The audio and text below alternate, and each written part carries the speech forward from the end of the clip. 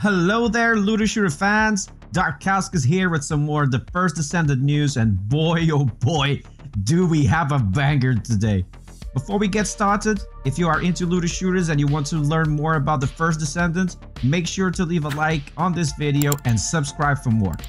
Right then, the developers just dropped their second dev talk and this time it's all about something most of you I'm sure have been waiting for. I'm obviously talking about Endgame. As we all know, completing the story campaign in any looter shooter is just the start of the journey. Because for theory crafters and build makers, the real fun only starts at endgame.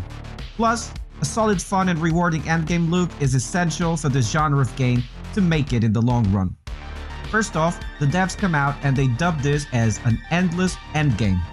I know we all heard that one before, so let's get into it with a little bit more detail.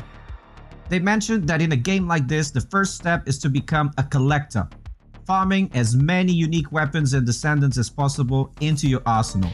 This is for mastery ranking purposes because the more weapons and descendants you level up, the more mastery you acquire. It becomes a very important game loop because we know from the betas, your mastery rank is what limits how far you can improve your mods and how much capacity you will have to mod said weapons and descendants. In a somewhat similar way to Warframe, if you will. Thankfully, they also confirmed to us that all Descendants and Ultimate weapons can be farmed and permanently acquired through regular gameplay. This is something we already kinda knew, but it's nice to have it reinforced in this developer chat.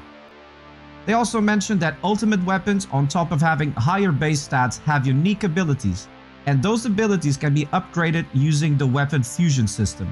Imagine for example the Valence fusion system for Tenet and Kuva weapons in Warframe, and you get the picture. Also, like in Warframe, some ultimate weapons pair better with certain descendants to achieve their full functionality and potential. They also very briefly tease that more ultimate weapons and descendants are on the way, but we kind of figured that out. Showing up on your screen right now at the top right should be the video I did showcasing and talking about these upcoming descendants, so feel free to check that one out for more.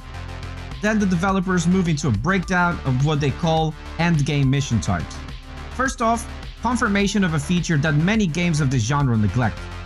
Story replayability. Loads of looter shooters don't implement this feature, and the ones that do, most times forget about difficulty and reward scaling. The developers confirmed that not only can you replay the story missions, they will have a harder difficulty mode that unlocks as you progress throughout the main story. Another win for story mission replays is that with a harder mission difficulty type also comes better rewards. On top of that, loot pools are not tied to specific missions and will in fact rotate between missions at regular intervals. This seems to be a great feature and should help avoid burnout because it means that you're not stuck in one mission forever to farm one specific item.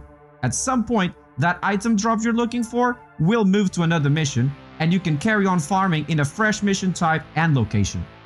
Our next endgame mission type is called Infiltration. Infiltrations support matchmaking and allow you to add an extra layer of challenge using up to 5 modifiers before the start of a run.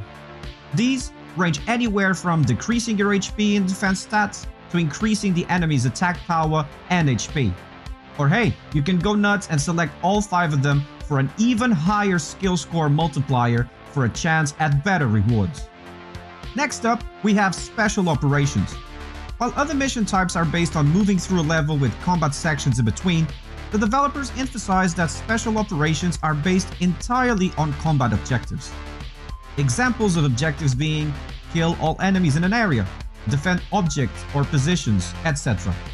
Although basic and simple at first glance, these are mainly round-based missions. Each round introduces higher enemy density, increased enemy types, and more elite spawns, ramping up the challenge as the rounds progress, but also increasing drop rates for the higher tier rewards.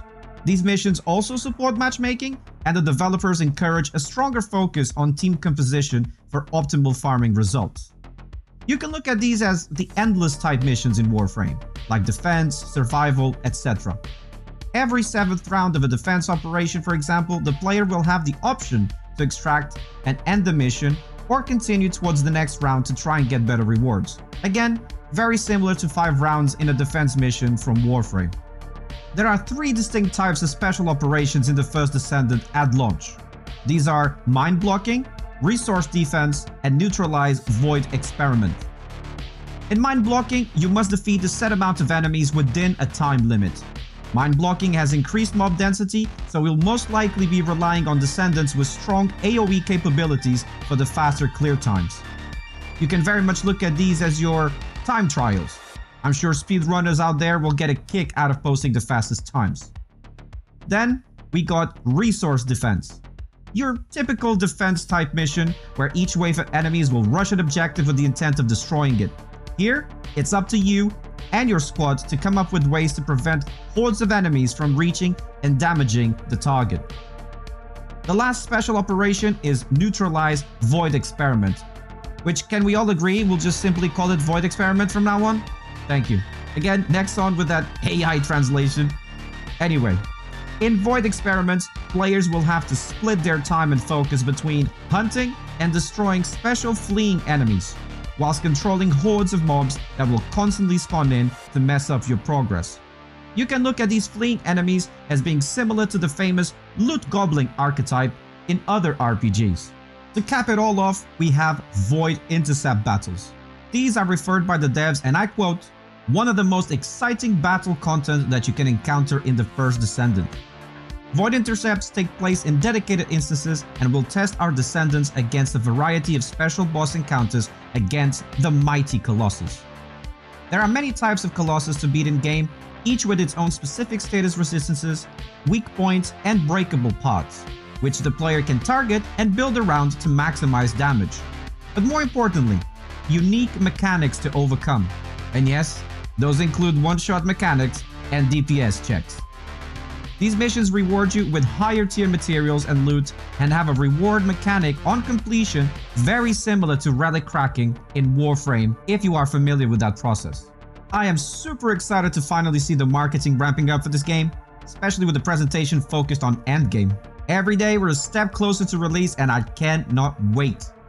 Let me know in the comment section what did you think about this dev chat? What changes and improvements would you like to see to the endgame of the first Descendant? Thank you very much for making it this far. Remember to leave a like on the video and subscribe to the channel for more looter shooter content. And hey, maybe check out the next video on our card. Darkauscus signing off. And until next time, hasta luego.